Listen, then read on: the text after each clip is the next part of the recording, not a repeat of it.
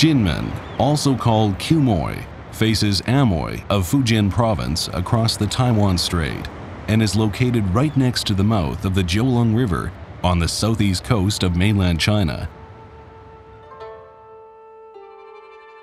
Its history can be traced back to the Jin Dynasty.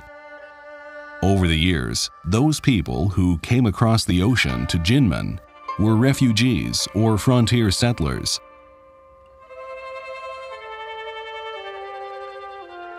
Others came to broadcast a culture, and still others to revive a kingdom.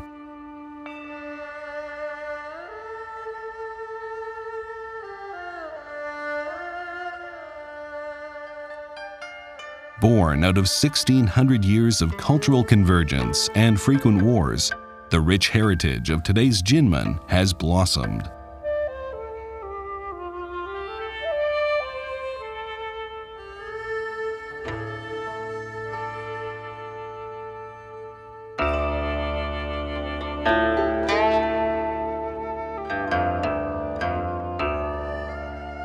The practical requirements of everyday life determined the origin of Jinmen's traditional settlements. Plentiful water sources, warm weather, and a leeward position became basic criteria with which many early settlers chose places to build their homes on. Therefore, residential buildings generally face the same direction and sit on the foundations with lower front and higher back forming a unique comb-shaped layout.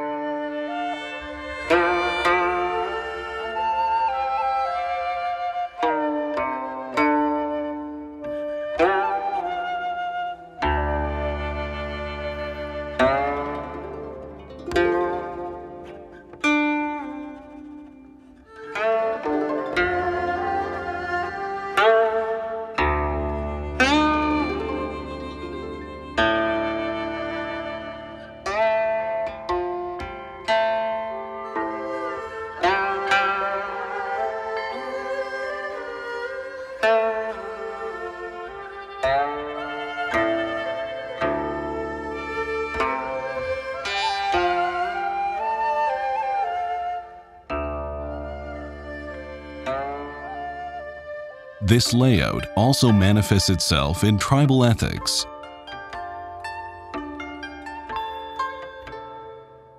Most of Jinmen's spontaneous villages were built by a single clan. For example, people of the same last name. The whole village was centered around the clan's ancestors' hall, while different families grouped around their individual family ancestors' halls the hierarchy among these ancestors' halls was clear, and their authority unquestionable. The clan was thus united and ethics upheld.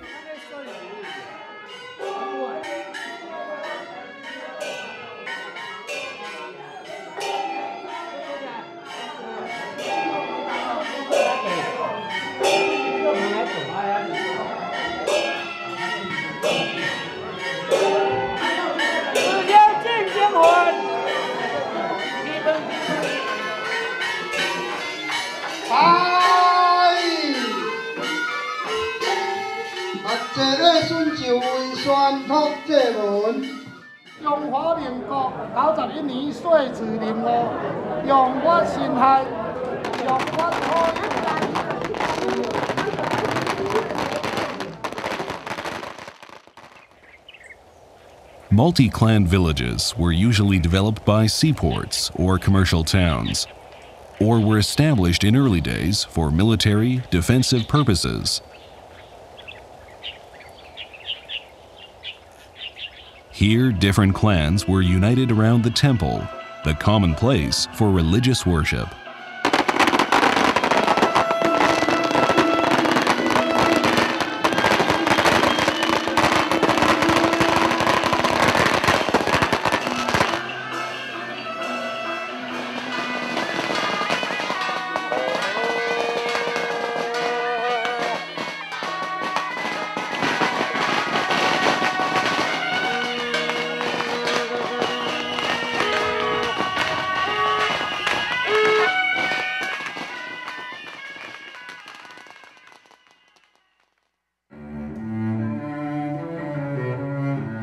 From the mid 1800s to the 1930s, large groups of Jinmen's younger generations found jobs in the South Pacific or Japan by way of Amoy. These hard workers remitted their wages back home to improve their family's life quality. Jinmen became a place that benefited from foreign earnings repatriation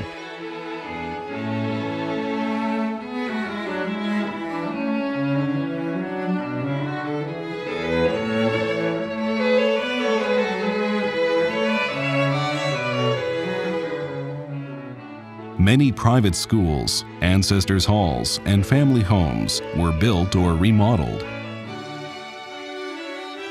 Some of the architecture, adopting Western styles and combining with the traditional local designs, have formed the unique look of today's Jinmen.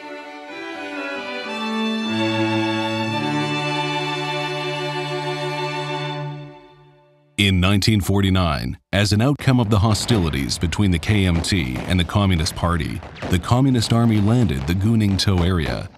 The KMT troops drove the Communists back very quickly, forcing a stalemate across the Taiwan Strait. On August 23, 1958, Communist China launched a ferocious air raid on Jinmen. This became known as the Bombing of 823, an event that shook the world.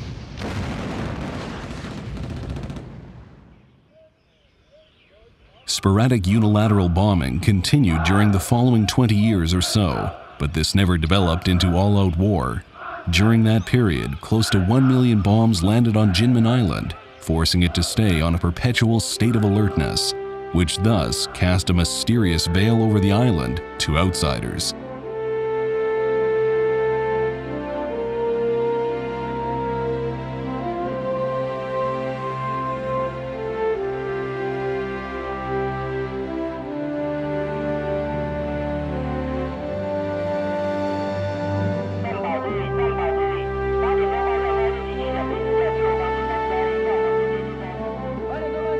Jinmen remained a war zone for a long time because of those battles, and its armaments have become war memorials to this day.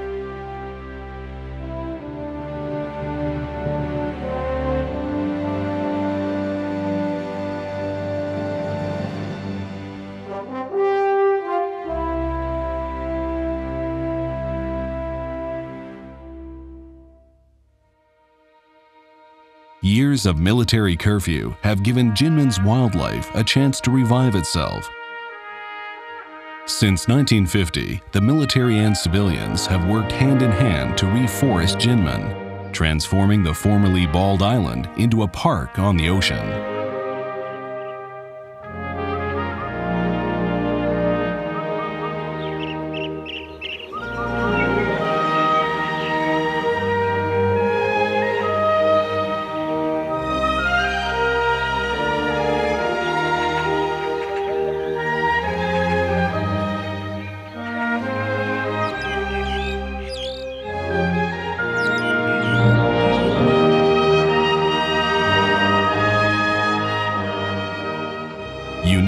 Coastal formations have been preserved because of coastal restrictions.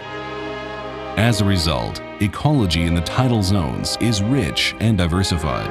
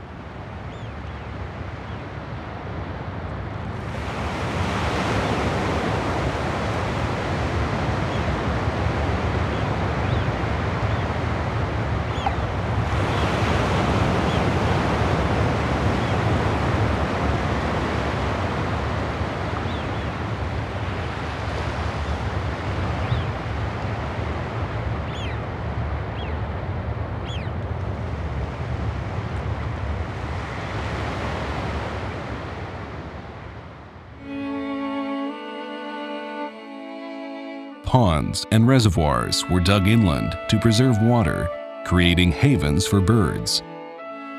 Now birds have become the main attraction of Jinmen's natural resources.